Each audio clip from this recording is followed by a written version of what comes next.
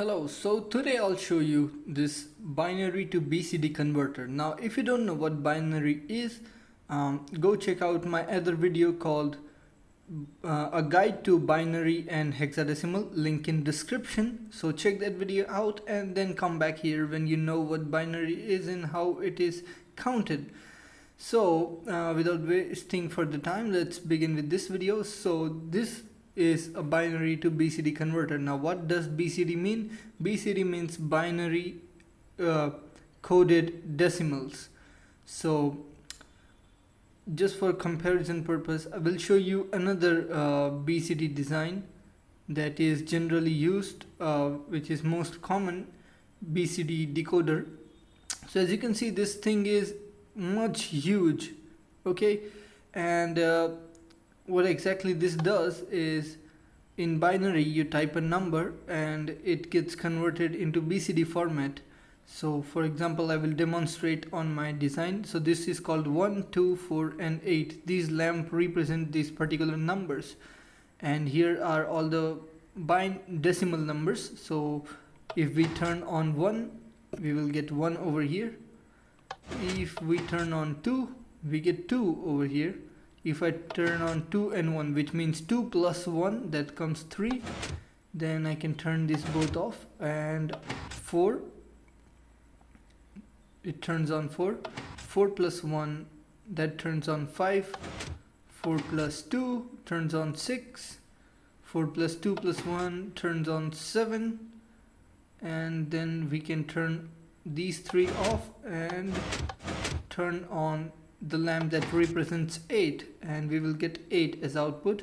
8 plus 1 9 8 plus 2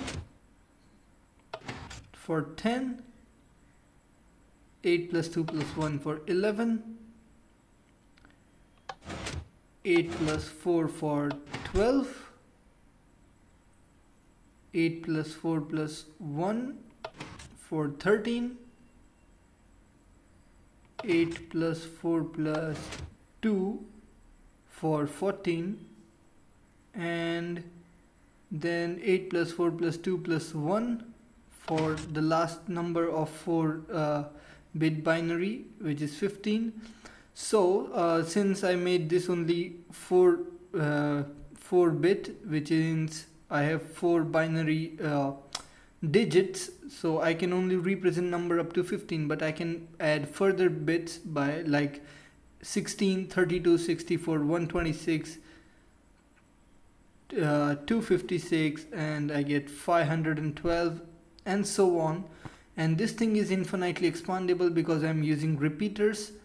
So you can infinitely increase the number of bits and the length of this thing so there is literally no restriction in this design unlike this design which uses redstone dust. And because redstone dust has limited signal uh, signal strength you have to of course use repeaters in between.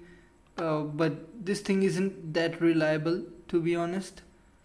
And which is one of the reasons as you can see this is so huge. So what I'm doing here is I'm using repeaters. So you can see three repeaters and one torch. Now this is the basically like uh, combination lock.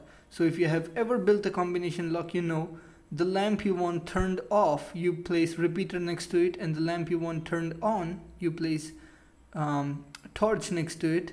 And then these torch and repeaters will power this redstone line. So if the line is powered the lamp will be turned off. As soon as the line goes unpowered the lamp will turn on. If the line is powered then lamp turns off. So for example if I turn this one on it is powering the repeater. Repeater is powering the line. Lamp is turned off. This first lamp is turned off okay? And if I turn this on this one then the torch is off which means it's no more powering the line but line is still getting power through this repeater which is why lamp is still turned on turned off I mean. And if I just keep this one on and rest of the three off then you will see that lamp gets turned on. But if I do anything else than this then the first lamp will be turned off. And this is how we create combination for each and every uh, BCD number which is decimal number. So we have to create a unique combination for each of these numbers um, using these 4 bits so the problem here is when you're making combination locks you need space. If the redstone dust of two different combination locks are placed next to each other they will interact with each other and mess everything up. So this is why uh, this system has limitations. You you need a lot of space in this kind of decoder. Um, and this is why when I was building a computer project I gave up on using that thing over there and I designed this new thing over here. Now these pistons you can see they're unnecessary and uh, these torches you can see. So these torches are acting like repeaters. So uh, I will just explain you. So as you can see if I turn everything off and keep only the first bit on you will see that there are three uh, three torches. So this repeater is running into torches okay? Um, and then there are three torches above them and these torches are powering the redstone line above them okay? So these three torches will power the same uh, for example the repeaters below are unpowered and these torches above are also unpowered which is why the line above them is also unpowered. But if you look at this uh, the torch which is being powered with uh, the the repeater which is powered it is turning a torch to unpowered state at the bottom. And then this unpowered state is turning into powered state in the next stage and then getting again unpowered which is why this uh, the line above is completely unpowered and which is why the redstone lamp is turned on. Now if I turn off the first lamp it will cause the upper layers to get powered or if I turn on any of the other lamps uh, it will still get powered. So it works just like the other system there but in much less space. So if you haven't understand yet I will uh, build one of these and try to explain you what's going on. So for example uh, I'm using pistons here because I'm obsessed with pistons but you don't need them. So I will just demonstrate how to build one without using pistons. And I will also explain you how it is functioning. Meanwhile I'm building it. So let's begin. So here I place my four bits okay then I place my four levers and then I placed my four repeaters. Okay and if I power any of these it will power the repeater behind. So now I need a layer of blocks. Then I need layer of repeaters then a layer of blocks repeaters in repetitive pattern. So as you can see. So let's start. I will just finish this real quick. So I'm not going to make all the 15 uh, BCD numbers over here. I'm just going to make as many as are enough to demonstrate what's going on. So I guess this is 9 right? Yeah. So if we place blocks over here make sure all the repeaters are on one tick. Okay and then you want to uh, place blocks between them. So you just want to make uh, a line of repeaters and blocks first being powered by one of these um, inputs binary inputs. And once you have done that you want to take out torch and place four torches on each one of these. So pretty basic stuff pretty simple. Now these torches are uh, the way we are going to make the uh, combination locks is using these torches. So you need to place four torches on each one of these. And once you've done that take some blocks and you need to place blocks. I will just show you don't need to place blocks like this. Uh, you need to okay I'll break the center ones because they are unnecessary. Yeah. So now you want to make a row of blocks above these torches like this. And you want to do this for every single one. And I'll just do it real quick. So now each and every block is getting powered. The blocks above each and every one of them are getting powered okay? So now we are going to create our combination lock. So in for the first bit for the first number we want the first lamp to be active. So we will place the torch on the side of the block not on the top on the side okay?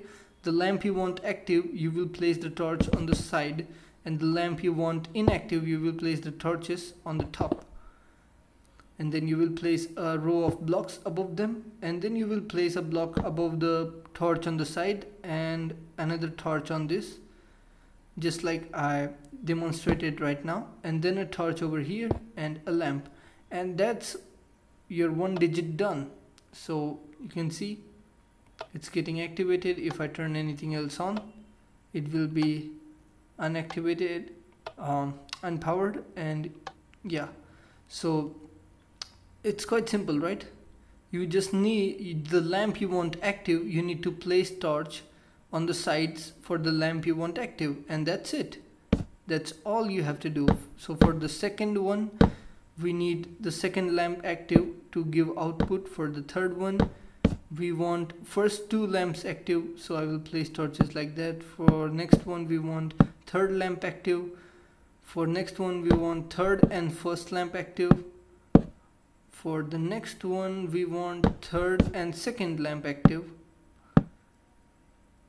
For the next one we want third second and first active. Okay. Then for the next one we want the last one active which is fourth one. And for last one we want for last and first one active. Though this the last we made over there was number 9 which is 8 plus 1 so last last digit represents 8 and first 1 so 8 plus 1 it was 9 and now you want to place blocks on the torches that are on the edges and then torch again like this. So do this for every single torch that is on the sides. One over here and one over here so you need to do this for every single torch that's on the sides and we are on number 4 plus 2 plus 1 which is 7 and then 8 and then we are on 9 okay. So this done now let's place torches over here. And now you want to cover the top of all of these with blocks again. So just cover this up. Okay I'll, I'll do this. Uh, okay yeah. So now once you cover all of these up then you want to place a line of redstone dust on each one of these. So let me just complete this real quick. Uh, and yeah so and it's almost done. Okay. So now you want to grab your redstone dust and place it on each of this.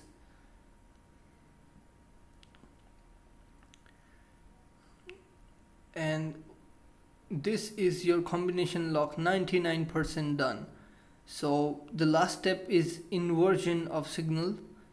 Uh, and once you invert the signal using a torch so you want to place a torch on each one of these and then a lamp right next to the torch. Okay? And that's it that's done. So if you want to increase the number count above 15 you just want to add one more bit on the binary side and then um, you want to add one more row over here. So for example uh, this the last one here is 8 so you can add a lamp next to it and name it 16 then a lamp next to it 32 64 and you can keep making the similar things similar combination lock next to it.